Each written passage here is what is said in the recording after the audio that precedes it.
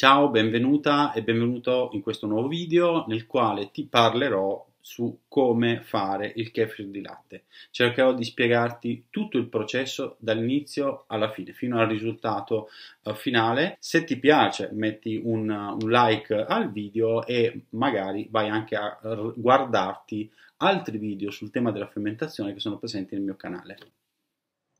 Ecco, per cominciare guardiamo l'attrezzatura che ci serve avere per fare, diciamo, a casa il kefir di latte, ok? Allora, ovviamente bisogna partire dalla uh, coltura, ok? Altra cosa che uh, bisogna avere è uh, una spatola, bisogna avere una ciotola capiente, um, eventualmente una ciotola più piccola, vedremo a cosa ci servono. Un altro vasetto per mettere dentro il kefir pronto, un colino. Uh, io ne ho qua di due tipi diversi uh, per, perché in base a ciò che vogliamo fare uh, dobbiamo utilizzarne uno o l'altro. Vedremo dopo cosa significa. Questi hanno una, ehm, come vedete, uno spessore dei fori leggermente diverso questo qui è più uh, uno spessore di fori più largo mentre questo qui è più, uh, più fine più stretto ok? Ultima cosa che serve per fare un buon kefir ovviamente è uh, il latte. In questo caso io sto usando un latte intero. Allora abbiamo la nostra coltura che è pronta. Allora prima di tutto serve una ciotola capiente dove filtrare il kefir di latte. Eh, prima vi parlavo anche di una ciotola perché mh, in questo caso noi abbiamo possibilità di scegliere quale densità dare al nostro kefir finale. Se noi filtriamo il kefir così com'è nella nostra ciotola, eh, noi avremo il classico kefir che è diciamo un po' più liquido del, dello yogurt tradizionale, no? Quindi sarà diciamo una sorta di bevanda di latte.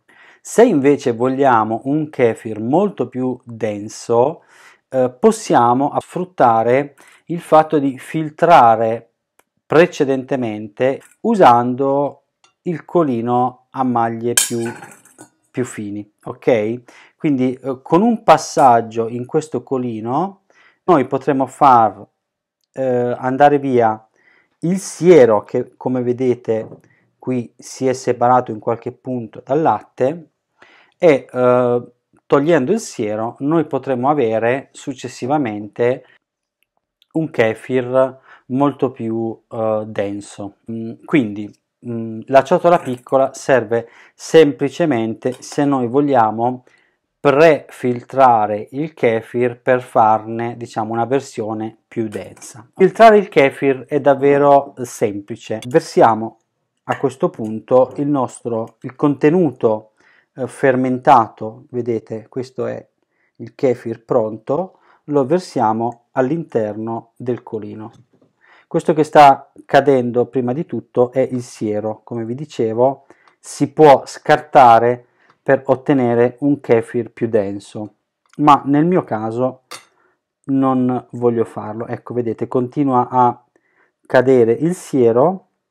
Adesso vi faccio giusto vedere un attimo cosa avviene. Ecco, qui dentro ho ancora il kefir con i suoi grani, mentre qui sotto vedete ho il siero che è diciamo quasi trasparente. Bene, procediamo con il filtraggio. Adesso uniremo tutto insieme. Ecco qui quello che dobbiamo fare è eh, appunto filtrare il kefir. Vedete comincia a eh, andare eh, sotto nella ciotola il latte fermentato ok vedete ecco in questo modo noi stiamo separando i grani dal uh, kefir ecco qua quello che sta andando nella ciotola sotto è il kefir pronto. Volendo possiamo aiutarci con una spatola girandolo. Ecco qua, aggiungiamo il restante che è rimasto nel vaso. Ecco qua. Ecco qui, in questo modo abbiamo separato i grani dal eh, kefir. Questa è la parte che noi eh, consumeremo mentre i grani torneranno nel vaso.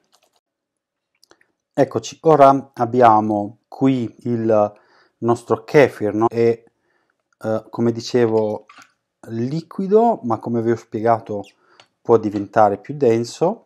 Qui dentro abbiamo i grani e qua abbiamo il vaso. Adesso dobbiamo rimettere i grani nel vaso, quindi in caso voi ehm, riceveste diciamo dei nuovi grani da qualcuno, eh, partireste da questo punto, cioè andrete a mettere i grani in un vaso, il vaso che sceglierete. Ecco, eh, in questo caso io sto utilizzando una quantità di circa eh, 100 grammi di grani ogni litro di latte. Quindi a questo punto rimettiamo i grani nel vaso. Allora, um, cosa molto importante, eh, ogni tanto mi chiedono se il vaso è da lavare. Io non lo lavo mai, ok? Lo tengo eh, appunto sempre diciamo, sporco di kefir proprio perché il vaso diventa esso stesso diciamo un veicolo, uno starter, ok? Altra cosa importantissima che mi chiedono è se i grani vanno lavati. Assolutamente no, i grani di kefir di latte non vanno assolutamente lavati. Ok, se proprio li volete lavare, lavateli in un po' di latte, ma è un procedimento che non ha senso, cioè non ha motivo di esistere. Quindi voi li filtrate, li mettete nuovamente in un vaso e a questo punto aggiungete il vostro latte, ok? Anche se freddo di frigo non è un problema, ok? Anzi, d'estate uh, è sicuramente una cosa buona. A questo punto mescoliamo i grani. Una cosa soltanto dobbiamo aver cura di fare ed è quella di pulire il bordo del vaso, pulire leggermente uh, l'interno in modo che non rimangano sbavature. Dopodiché io di solito agito in questo modo il mio vaso, il latte va a lavare le pareti, porta via i grani che sono rimasti appiccicati nelle pareti e da adesso in poi posso chiudere e il mio kefir sarà nuovamente uh, pronto. Allora, alcuni dettagli, alcune specifiche, diciamo, su come conservare kefir. Allora, tappo aperto, tappo chiuso, come facciamo? Allora, io utilizzo un tappo di questo tipo senza il gommino, senza la guarnizione, ok? E lo tengo semplicemente chiuso in questo modo.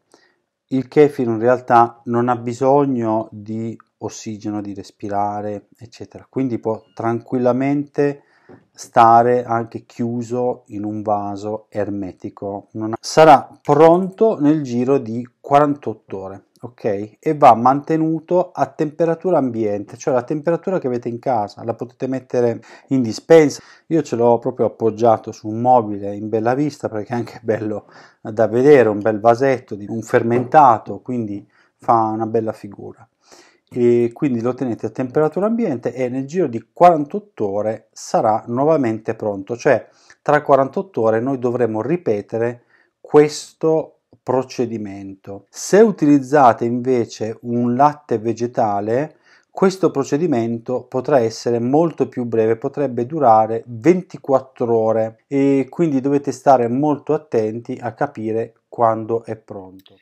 Eccoci qua, quindi sono passate 48 ore sostanzialmente da quando abbiamo fatto il kefir, ok? Come facciamo a questo punto a capire quando è pronto effettivamente, perché non esiste uno strumento di misurazione specifico che ci indica quando è pronto. Dobbiamo osservarlo e soprattutto dobbiamo calcolare, diciamo, tenere a mente il tempo in cui l'abbiamo fatto. Per avere il kefir pronto devono passare circa 48 ore. 48 ore è il tempo indicato. C'è chi lo fa anche in meno tempo, però meno tempo di fermentazione significa anche meno fermentazione, quindi più lattosio all'interno del latte, soprattutto questo può essere un problema per chi è uh, intollerante al lattosio. Mentre 48 ore o anche 3 giorni, quindi 72 ore, potrebbe essere il uh, tempo giusto di fermentazione del kefir. Ovviamente anche più fa- faremo fermentare il kefir e più questo risulterà acido. Quindi diciamo dovete un attimo regolare il sapore che volete ottenere sul vostro, livello di gradimento, ok? Uh, quindi come facciamo? Come fate a capire quando il kefir è pronto? Bene, è abbastanza semplice in realtà, quindi al di là del fatto che sappiamo che sono passate circa 48 ore, quello che dobbiamo osservare è uh, la consistenza del nostro kefir. Se voi vedete uh, è diventato Uh, molto denso, ok? È molto denso e comincia a presentare queste screpolature, ok? Uh, generalmente possono anche essere molto più uh, grosse queste screpolature e questo cosa significa? Il kefir è fermentato e questo processo di fermentazione, che è anche un processo di acidificazione del kefir, porta le caseine del latte a separarsi. Quindi noi avremo la formazione di siero okay, e la formazione del kefir vero e proprio. E come vi ho spiegato, se poi voi volete, potrete filtrare questo siero, eccetera, eccetera. Quindi questo è un po' il modo per comprendere se il kefir è pronto. Non c'è bisogno di controllare il pH perché è sicuramente acido quando diventa in questo modo e da questo momento in poi possiamo procedere con la filtrazione, cioè con il filtrarlo e il prepararlo come avete visto prima. Bene, questo è tutto per questo video, vi aspetto nei prossimi video, vi aspetto nei prossimi corsi dal vivo o nei corsi online che terremo, seguite la pagina Facebook o la pagina Instagram e ovviamente se vi va seguite questo canale perché ogni tanto pubblicherò nuovi video. Ciao!